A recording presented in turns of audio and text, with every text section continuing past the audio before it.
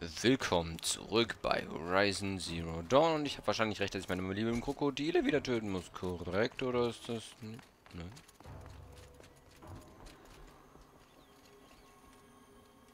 Erstaunlicherweise nicht. Okay.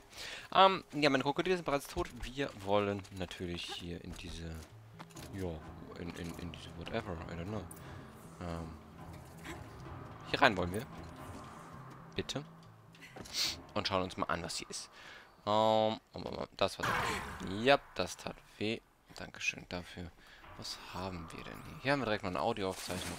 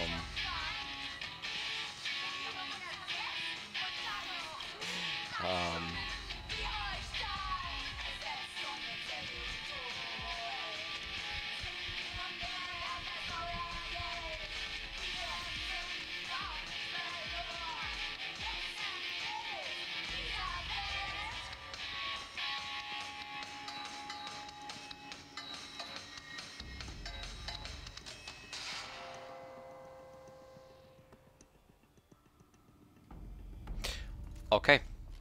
Äh, interessant. Ich, ich nenne es einfach mal interessant. Ähm, die können nicht sonderlich gut singen, ja.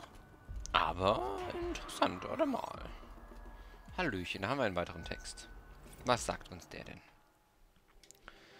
Lieber niemand. Die Automobile sind unterwegs. Meins bringt sich zu meinem Apartment in Cody.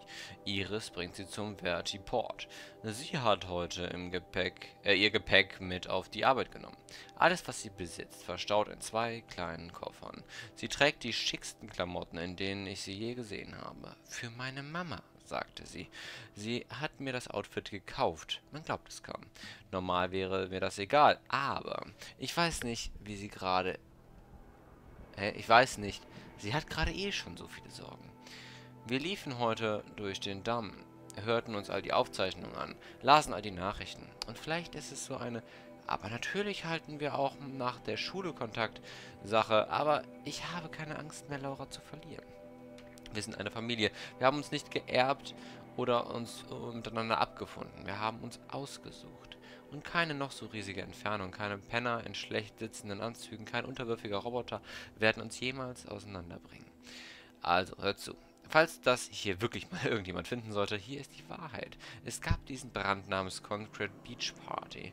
Und für einen kurzen Augenblick war sie die beste Band der Welt. Und nun, äh, und du, wer auch immer du sein magst, hast riesiges Glück, weil du die einzige Person bist, die sie jemals hören wird. Bis niemals. Die letzten Mädels der Welt.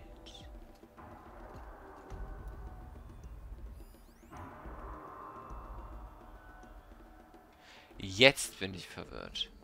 Who the hell are you? Achso, ich dachte gerade schon. Du freust dich wieder spielen zu können. Ich weiß nicht, wie das ging, aber das Wasser ist blitzschnell wieder abgeflossen. Was hältst du von meiner Musik? Ich habe noch nie so etwas gehört. Weil es keinen anderen Ort gibt mit solch einer Resonanz, einer Intonation, die deinen Körper vibrieren lässt. Und natürlich kennt keiner diese Rohre wie ich. Ich habe sie gehört, bevor ich laufen konnte, auf dem Rücken meines Vaters. Danke für die Wasserableitung. Nicht allein für mich, auch für die Ahnen und ihre Lieder. Bitte, nimm dies als Zeichen unserer Dankbarkeit. Ähm, danke. Drei Blauglanz. Das ist natürlich nett. Also, nehme ich immer wieder gern. Blauglanz ist ja jetzt hier eine Währung, die man recht gerne hat. Und mehr ist hier dann aber auch nicht, oder wie? Das war's schon. Ja, okay. Ja, dann, äh... Entschuldigung, die Störung. Und, äh, ich bin wieder weg. Ja. So sieht es scheinbar aus. Ja. Okay, ich nehme das erstmal so hin. Ähm, wie gesagt, das Blauglanz, ich habe keine Ahnung, wo das ist. Das Blauglanz haben wir aus Versehen vergessen.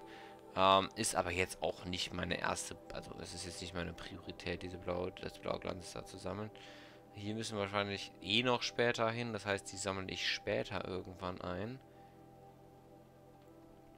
Ähm, hier ist eine, warum ist hier eine Quest? Ich glaube, ich muss da sogar noch irgendwas, eh, egal. Wir kümmern uns tatsächlich jetzt erstmal hier drum. Und dafür reisen wir dorthin. Ähm, und dann werden wir tatsächlich die Hauptquest quasi fortführen. Die, ja, ja, wir wollen Häuptling werden. Ich weiß nicht genau, ob wir dafür sogar nach oben noch hin müssen. Ich weiß es nicht genau. Wir, wir werden es rausfinden, auf jeden Fall. Wir werden es rausfinden.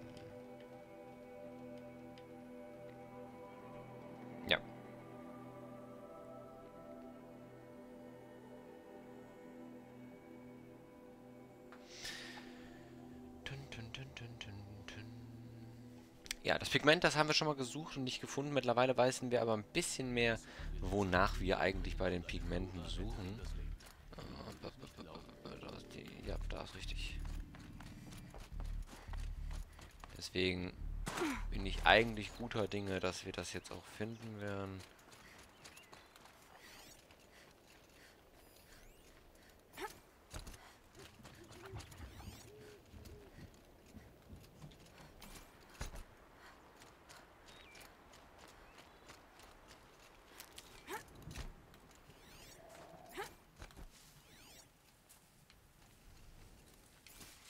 Ich wollte gerade sagen, beispielsweise hier.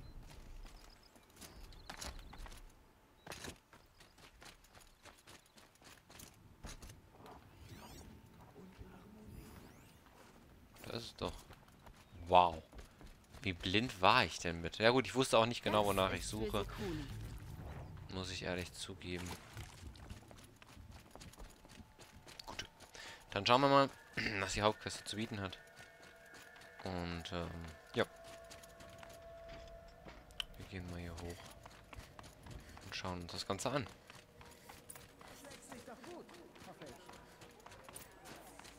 Fordere Aratak heraus. Der erst laden muss, aber das ist okay. Mein Volk erzählt sich über deine Taten viele Geschichten. Du scheinst besonderes Interesse an unserem Flächenschnee zu haben, Fremde. Ja. Und scheinbar werde ich auch nur so alles davon sehen können. Du forderst mich? Für den Verak. Du? Ha! Das ist wohl ein Witz. Es ist kein Witz, Aratak.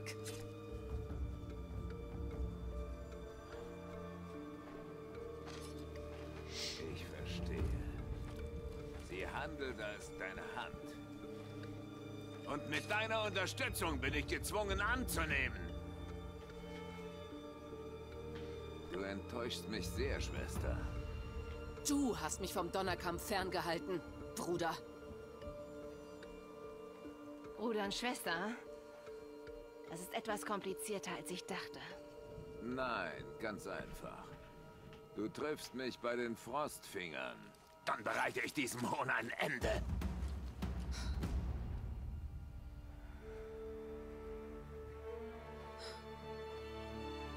Ich schulde dir wohl eine Erklärung. Ich glaube, das tust du. Warum hast du nicht erzählt, dass du Arataks Schwester bist? Ich dachte, das wäre nicht nötig. Dass Aratak es einer Fremden gegenüber erwähnt hat. Er muss sehr wütend sein. Hm.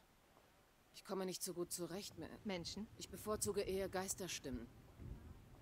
Oder mich selbst. Ich wollte nicht, dass du unsere Reise als irgendeine Art Familienzank siehst. Sie ist viel bedeutender als das. Mutig, das muss ich dir lassen. Den eigenen Bruder anfechten. Er gab mir keine Wahl. Er denkt, ich bin ein Kind, das bei der Jagd abgeschoben wird. Er würde mir mein Schicksal verwehren. Und dennoch wusste ein Teil von mir, dass er mir vergeben würde. Am Ende. Das tut er immer. Familiendrama beiseite. Wie soll diese Herausforderung aussehen? Du und Aratak werden Maschinen bei den Frostfingern jagen. Der Schnellste wird der Sieger sein. Es wird nicht einfach. Nichts hieran war es bisher. Wenn wir uns am Startpunkt treffen, erzähle ich mehr. Am Fuß der Hügel ist es einfacher zu erklären. Oh je. Orea, es ist egal, wer mit wem verwandt ist. Ich will wissen, was im Donnerkamm ist. Die Stimme, der Dämon und wie alles mit den Maschinen zusammenhängt. Aber wenn wir das durchziehen wollen, musst du ehrlich zu mir sein. Ich habe dich unterstützt. Und Aratak. Den Fehler mache ich nicht nochmal. Wir sehen uns bei den Frostfingern. Okay.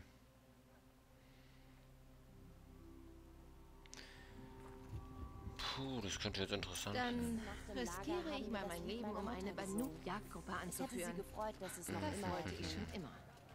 Ich erinnere mich nicht ich komme. An anscheinend einen auch noch eine. Quest, Glück für mich, die ich interessant finde.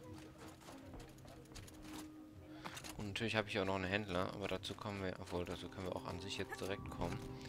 Weil wir haben diesen Bogen. 50, 50, 80.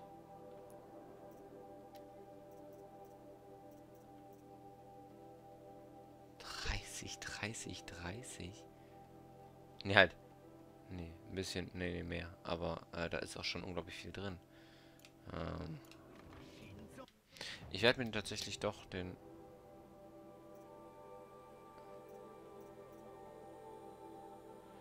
den Bogen kaufen.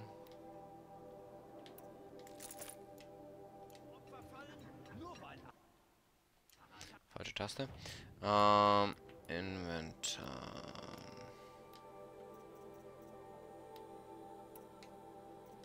Nein, das ist nicht das, was ich wollte. Nein, das ist auch nicht das, was ich wollte. Ähm, der Bogen, den ich hier gerade bis jetzt da habe. So. Modifizieren. Wir haben einen neuen Bogen. Und jetzt ist tatsächlich die Frage, womit modifiziere ich den? Wir hätten hier 40% Eis und Schock.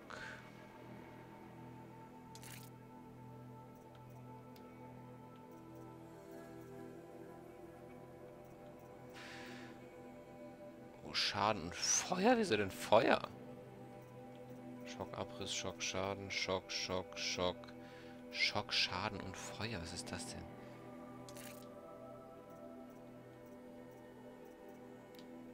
Äh, Verderbnis brauche ich nicht, das ist egal. Was haben wir jetzt hier noch? Schock oder Eis und Abriss.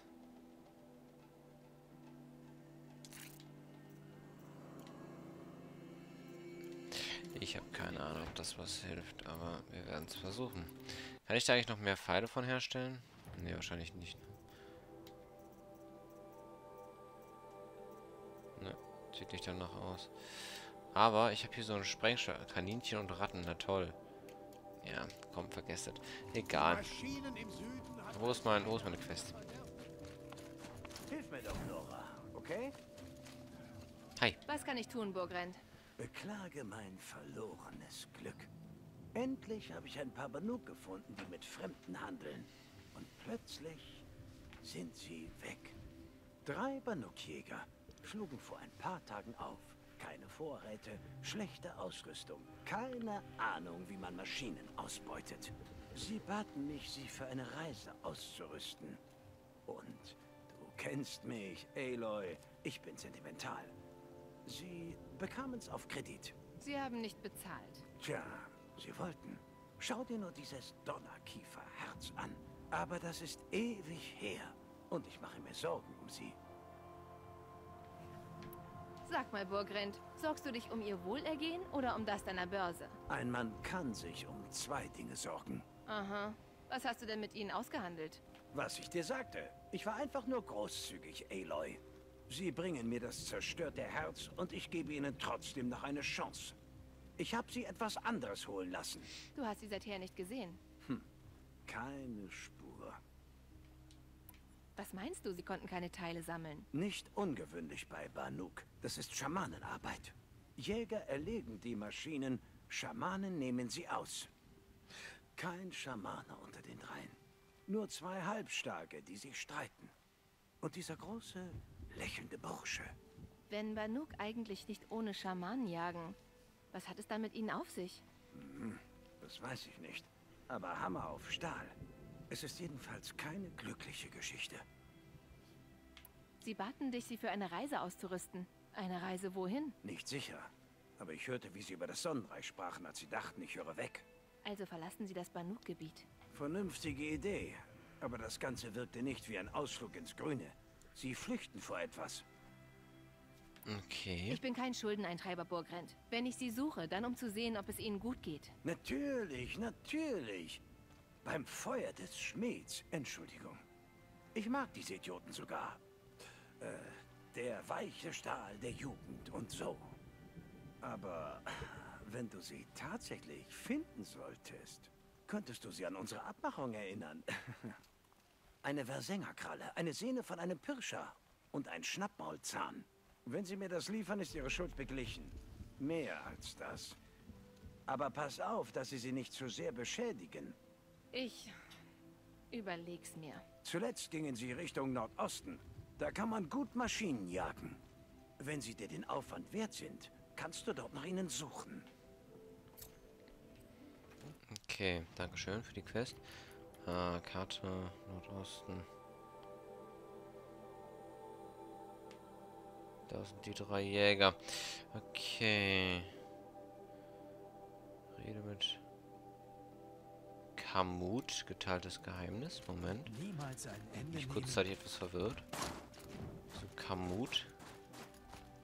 Wer zum Teufel ist Kamut? Einem Verak passiert es leicht, dass man sich auf andere verlässt. Aber man darf Okay. Ähm, ja, wir gehen mal eben zu Kamut und dann werden wir beim nächsten Mal auf jeden Fall mit Verak uns anlegen. Oh, was, wer, wer, wer ist denn jetzt hier? Wer möchte hier noch etwas von uns? Bist du, du bist Kamut? Sollte ich da... Schamanengeheimnisse spricht man niemals aus. Sollte ich das hier für dich finden? Binde es an den Speer, befestige damit das erstmal. Du findest mehr, ganz sicher. Warum hilfst du mir? Das blaue Licht verblasst, die Maschinenlieder enden. Und was genau tut das Konklave? Sitzen, singen, beobachten. Es reicht. Wir müssen kämpfen und du, du bist ein Kämpfer. Wir teilen ein Ziel. Da bin ich mir nicht sicher. Ich weiß nicht mal, was das Ziel sein soll. Aber ich danke dir. Spar dir den Dank. Handle lieber. Jetzt kann ich meinen Speer mit Teilen modifizieren. Gar nicht. Gehe zu Schatzkisten. Wieso muss ich bei Schatzkisten meine... Jetzt bin ich verwirrt. Schlecht. Ich könnte jetzt auch meinen Speer verbessern. Gehe dann auf Herstellen eurer Spitze. Silence Lanze, Modifikation 2. Moment, ist das jetzt mein normaler Speer?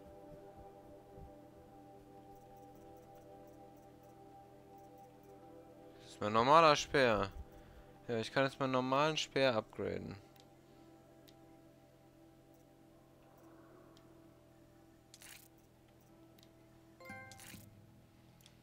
Aha. Das ist nett, Dankeschön. Das blaue Licht zu erhalten, ist unsere Pflicht. Okay, handeln willst du aber auch irgendwie doch nicht so ganz, ne? Aber wir haben auch eine Sperrmodifikationskiste bekommen, sehe ich gerade. Ja, total. Wo denn die? Hä? Du sagst mir, ich hätte eine Sperrmodifikationskiste bekommen, aber... Ja, ne? Oder ist die... Jetzt vielleicht?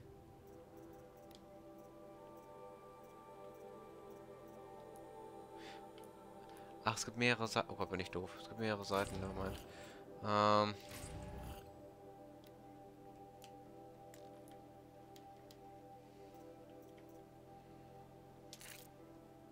Ja, da haben wir natürlich noch was Besseres, klar.